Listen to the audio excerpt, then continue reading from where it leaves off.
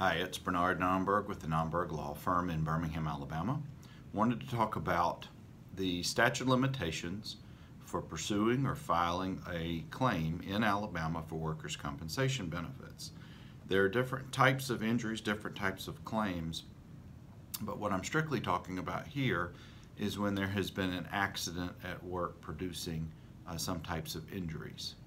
In its simplest terms, uh, all claims for compensation shall be barred unless within two years of the date of the accident a verified complaint is filed with the court.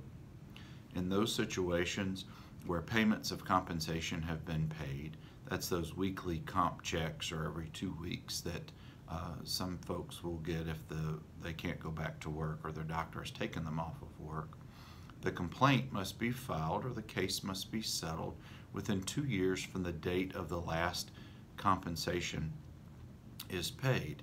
Now, compensation does not include payments made for hospital or medical or surgical treatments or uh, reimbursement for mileage.